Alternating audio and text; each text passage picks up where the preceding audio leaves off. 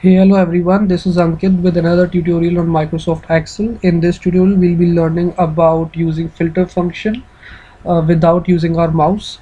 The relevance of uh, uh, using filter function without our mouse is uh, especially for those who use uh, who works on uh, big databases and who frequently use uh, the filter function. So it saves a little time and it is more a little convenient than using uh, mouse for filter.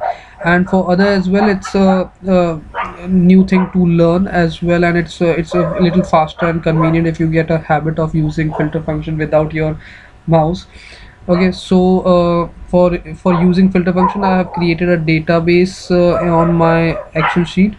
It's a small database on which we'll be performing this function. Um, uh, I'm, I'm doing uh, uh, these examples on small databases because it takes a, a good amount of time to create a go, good uh, huge database and perform function on that. So uh, I, I demonstrate on small databases only but trust me I myself use these functions on huge databases having thousands of rows hundreds of columns and it, really helps in increasing your speed in Microsoft Excel. So uh, let's begin with it. Uh, so so first of all there what the data I have is I have dates here uh, I have names here random names. Uh, i have amount borrowed. I have borrowed certain amounts from these people. And i have lent certain amount to these people. And what is the net amount i have paid or i have received from these people? This is what i have as a database. Okay and now i want what i want is i want to put a filter and uh, uh, retrieve uh, for example i want to retrieve how much amount i have paid and received from Mayank and what is the net amount I have paid and received from him? So uh, there uh, there may be several times Mayank for example here it is uh, 500 rupees I have borrowed and I have lent 300 rupees net net I have uh, borrowed 200 rupees okay? So there may be several times uh, uh, Mayank has been used in the, the database and I wanted to know that how many times on which date dates I have borrowed or lent him and what is net amount that I have got from him or I have to I have paid uh, paid him. Okay.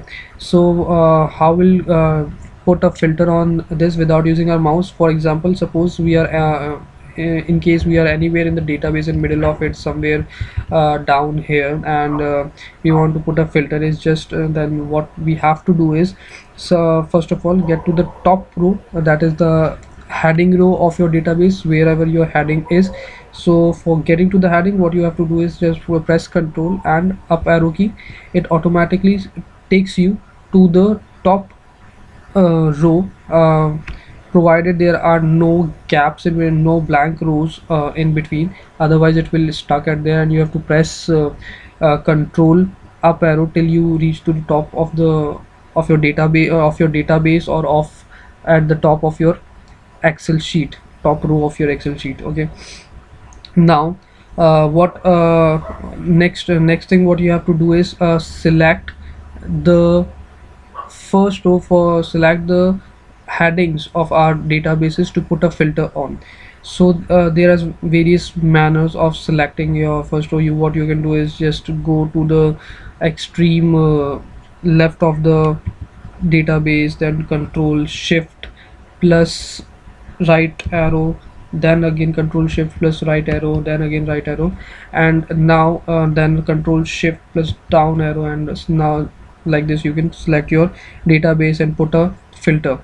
But instead of doing this a more convenient way of doing this is for example uh, if I if I've got, got here okay if I have uh, press control plus up arrow and I reached at the E column. And um, if I do control plus shift or reach to the uh, leftmost area and select the data it, it uh, consumes a little more time.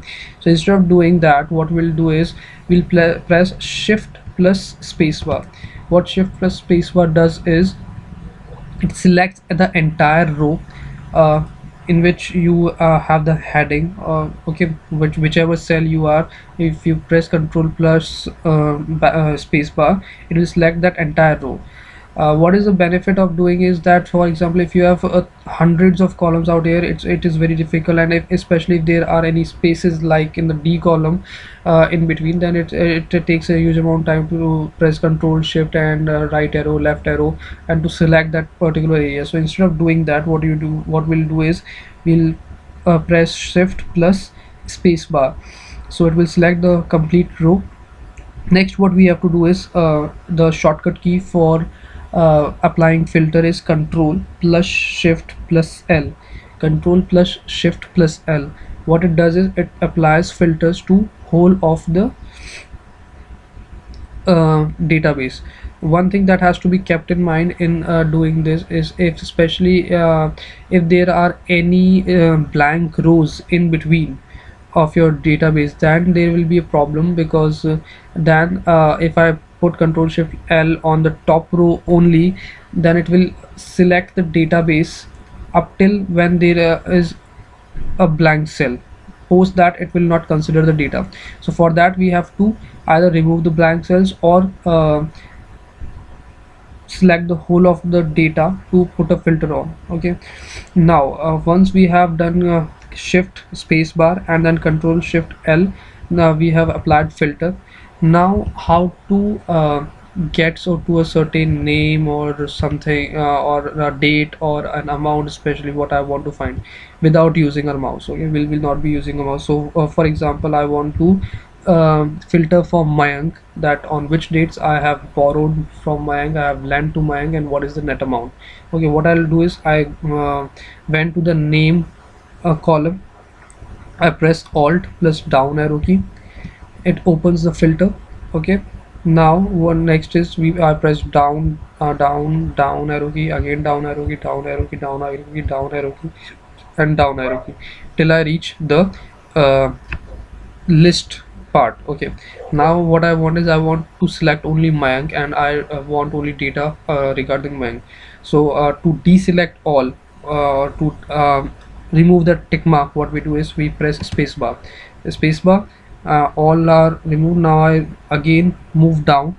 Down arrow key down arrow key down arrow key down arrow key. I want to select Mayank okay? So I again press spacebar it selects Mayank. I press enter okay? So here's your data get filtered. On uh, these these dates 3rd November, 9th November, 15th November and 21st November I borrowed and lent to uh, my these are my amounts. This is my net amount that I've borrowed or lent okay?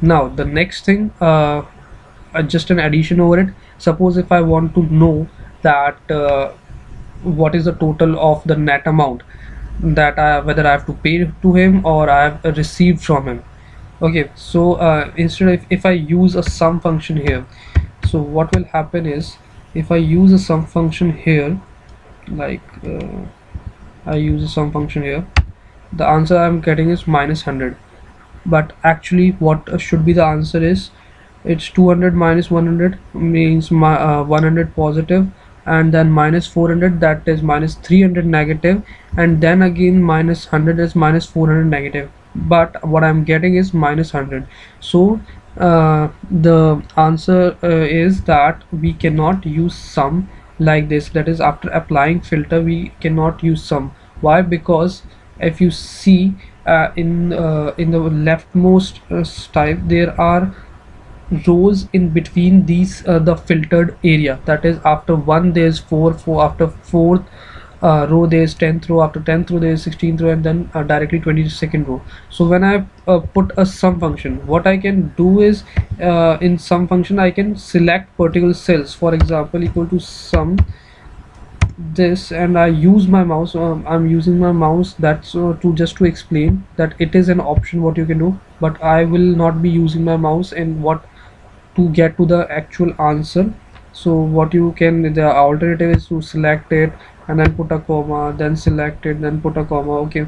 This is one of the options to sum uh, the net numbers but you can't directly put a sum formula sorry uh, you can't directly put a uh, just a second here. You can't directly put a sum formula like this because it will also add up the rows in between this filtered part okay? So instead of using sum formula what we use is a subtotal formula subtotal formula. I click tab now uh, in this it provides multiple options that what kind of subtotal you want. You want average of the data you want count count a max min. I'll be talking about uh, a lot most of these uh, formulas that what these formulas does. But for the timing i'll do is what i want is i want to sum the above data. Okay so i'll uh, see where it is. It is on ninth number. Ninth number says sum. So i what i can do is go down here and then press tab or instead i can directly write 9 and press comma and then i can choose my database. I'm choosing my database from here to here. And press enter. So it's coming minus 400 the answer answer which actually should be. Okay. So i hope you have liked the video. Um, just one more thing uh, before ending it in case you want to just after doing all your stuff you want to you have checked everything and you want to remove your filters so what you have to do is just control shift L you need not to select any uh, data or anything you just have to press control shift L and it will the filter will automatically uh, removed okay? So um, this brings me to the end of this video hope you liked it uh, I'll be coming up with more such videos soon okay bye bye good night